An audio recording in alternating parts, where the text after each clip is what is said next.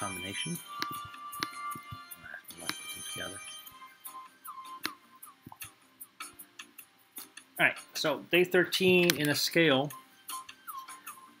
scale drawing one centimeter, so I'm gonna write one centimeter, is 2.75 feet, or if you wanna write two. Uh,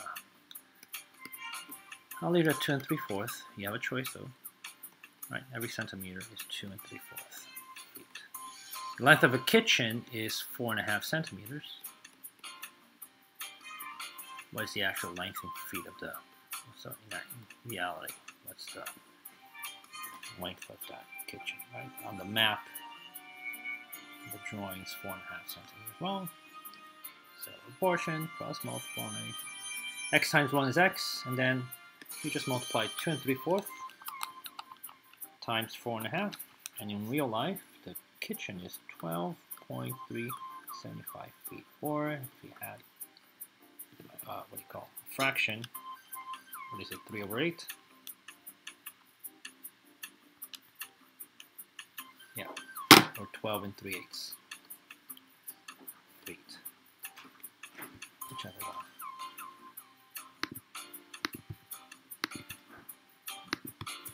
two circumference, more circumference problems. Circumference, here's a circle. It's 15 feet, 15 pi, so the circumference. Take a walk around this circle, is 50 pi. What is the area? So in order to the area, we need the radius. Or if you find the diameter, divide it by half to get the radius. So c equals pi d. Circumference is 15 pi.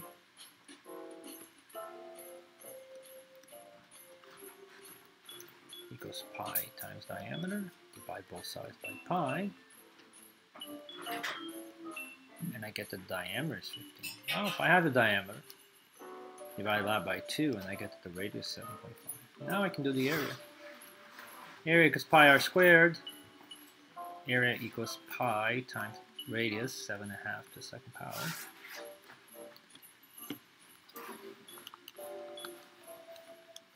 Which is 56.25. So area equals 56.25 pi unit square.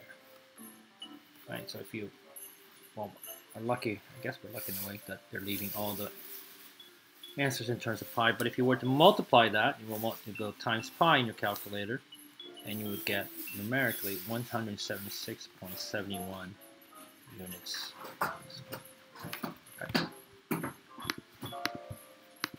Three. Spinner.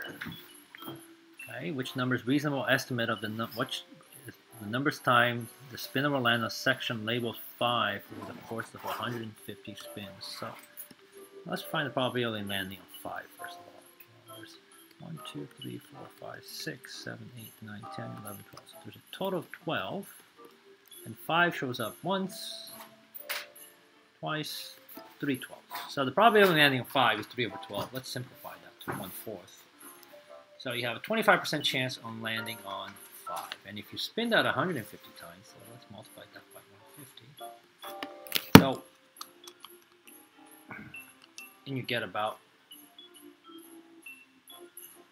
37, sorry, 37, so you expect about 37 or 38, sorry, 38 spins will land on the number 5. What's the closest one? Right there.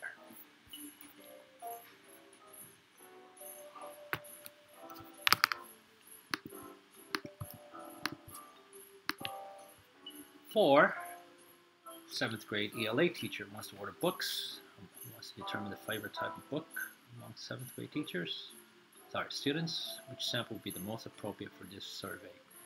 Ask seven girls in each of his classes. Uh, no, every fifth student in the seventh grade. One out of seven students in his middle school. All the boys in one of his seventh grade classes. Well, asking only seven girls in each class is biased, right? Because they're all girls. Every fifth student in the seventh grade sounds okay, random. Uh, one out of seven students in his middle school, no, because he wants to order for seventh grade. So eighth grade he wouldn't ask, neither he would ask the sixth grade. So that's gone. All the boys, and again, you can't just ask all the boys. So that would be So the only one that makes any sense would be B. Five. Two box plots. Bowling team participates, records the scores for each member on both days. The scores for both days are represented. The scores on Fridays and the scores on Saturday have the same median. That's not true. So if you look at the median, this is the median, and this is the median for Friday. Are they the same? No. Scores on Friday have a greater median and a greater interquartile range than the scores on Saturday. So has a greater median, right? The median's right here, so that's a check. But the interquartile range sounds, look at the box, right? When you say IQR, I want you to look at the size of the box. They look about the same size. So I'm going to say no. Excuse me, no to that. The scores on Friday have a greater interquartile range than the scores on Saturday. Scores on Friday Again, is the box on Friday bigger than the box on Saturday? I'm going to say no to that The scores on Friday have a greater median. Yes, this line right here is greater. This line, right? But both data have the same interquartile range. So I was saying before, the boxes, I mean, look about the same size. Right? So D is our answer. Six passenger train has eight tickets available for 12 window seats and eight aisle seats. Next person to buy a ticket will be randomly assigned to one of those seats. Yuck. Probability the next person will be assigned an aisle seat? Well, how many seats are there to begin? There's 20. How many aisle seats? 8 out of 20. So what's the probability that when you buy the ticket, you get an aisle seat it would be 8 out of 20. You have 8 out of 20 chance of getting an aisle seat. Let's simplify that. Divide by 4, 2 fifths chance. So you have about 40% chance of getting aisle seat.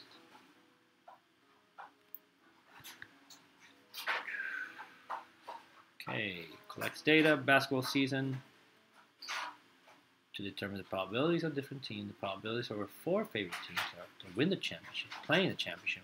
The Tigers have two-thirds chance the Redbird 4 fifths, the Bulldogs 3 eighths, and the Titans a half. Which of these teams is least likely to play in the tar in the championship team? Well, two thirds about 66.6%, right? Four fifths is 80%, three eighths is about 38%, and a half is 50%. So, who is the least likely?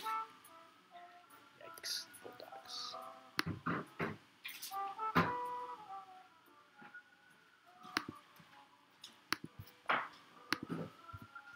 8. The results of a survey, 120 students were were selected are listed below. So 60 have cell phone with company X, 36 with company Y, and 24 doesn't have cell phone. Total population of students was 380. Based on the data, what's the best approximation for the total number of students who have cell phone with company? Well, in the survey, what was the probability of a student having company Y? Well, it was 36 out of 120, right? 36 out of 120 had company Y. So you can use that to sort of predict how many out of 380 we have As. Well, just multiply them. Um, 36, 120 times 380, and you get 114.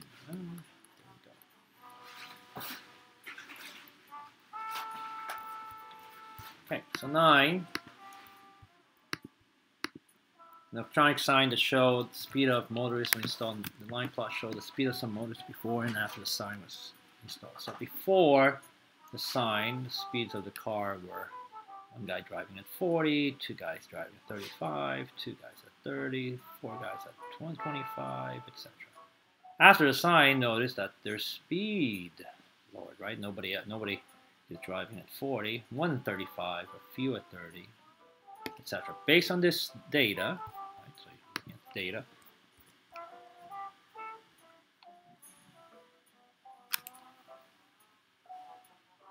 what is true about the speed of the motors. The mean speed and the range of the speed of the motors decreased. The mean speed, well, the mean, the average speed decreased. Is that true after? Yes. I think the average speed, uh, yeah, I think it decreased.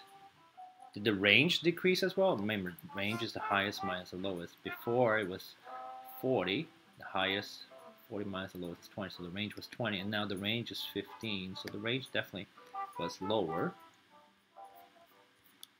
Um, what else? That's true. The medium speed and the range of the speed of the motors increased, so that's not true. Right? The range did not increase, so CB is gone. The mean speed of the motors decreased and the range of the of the speeds increased. That's not true. Again, I told you the range decreased. The median speed increased and the range of the speeds decreased. The median did not increase. Okay, uh, so A is the only one that makes sense. Okay, 10. make the circle smaller. So the lace border has 50 inches long around, so the circumference is 50 pi, 50 pi inches by the way. What is the length of the radius? So we want the radius given the circumference. Right. So we want the radius. And we have circumference. So c equals pi d, and they give us c equals 2 pi r, which you can also use. I'm just going to stick with this. c equals pi d, the circumference is 50 pi. And then pi times d. We want to isolate d. How do we do that? We divide both sides by pi, that goes away. Divide the other side by pi, that goes away. So the circumference, sorry, the diameter is, so this diameter is 50. The diameter is 50, the radius is 25. So the answer, the multiple choice answer here. So the answer is B, 25. 11. A number cube, okay, a die she rolled 60 times. She recorded the, what do you call it? She recorded the results below. Based on her experiment, Debbie expected each number of the cube to appear an equal number of times. Which statement best compares the results of Debbie's rolls with her expectation? So, theoretically, each number would have been, so probability of rolling a 1 is 1 out of 6, right? So if you, if you roll that 60 times, you expect the, roll, the 1 to come out 10 times. So that's the experimental. So we write experimental, what happened in experiment? Theoretically, she was expecting that the 1 showed up 10 times, the 2 would show up 10 times, the 3, the 4, the 5, and the 6. Each number was supposed to show up 10 times. That's theoretically. So look at A. A says Debbie rolled more 5s than expected. Is that true? No. She was expecting 10, she got 4. So A is not true. Let me write this. A is no. B, Debbie rolled fewer 4s than expected. Well, no. She was expecting 10, she rolled 11. So B is also not good. C, Debbie rolled more 3s than expected. expected. So C, wow, she was expecting 10 and she got 15, 18. So that's true.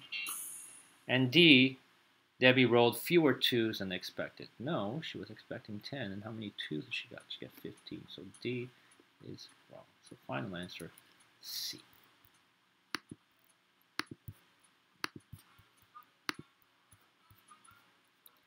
Twelve, 500 students in the school. He wants to survey a sample to determine what's the most popular subject. What sampling method is the best to use to predict that? To predict the most popular sub, uh, sub, subject in school. Select 50 students from the student list of 500. Okay, that looks good. Randomly select, so definitely. Randomly select 10 students having lunch in the cafeteria. Um,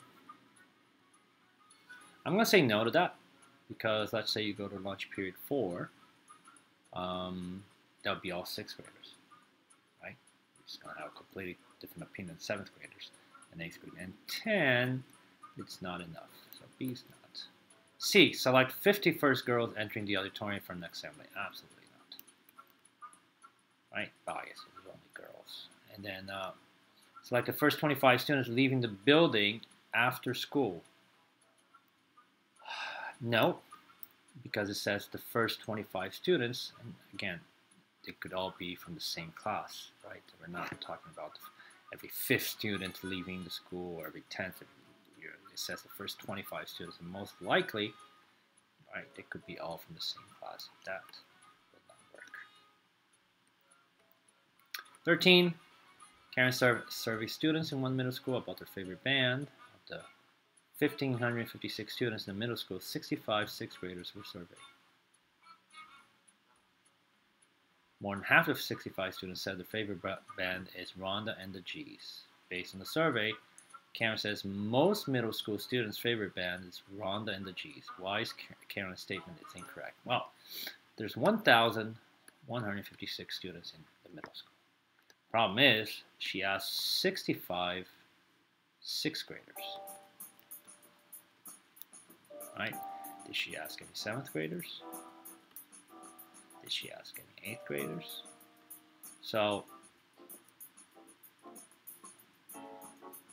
and then she said half of the 35, half of the 65, so half of the 65 said Rhonda and the G's, but they were all sixth graders. So, uh, Karen, let's see, what, what, why is Karen's statement incorrect? Karen surveyed too many students? No, that's not incorrect. Karen's survey sample was too small? Um, maybe. Karen did not survey any high school students? No, that's not it. Karen did not include enough bands in the survey. Uh, Karen's survey, so the only one here that makes sense, but the Karen survey sample was too small again because she did not include seventh grader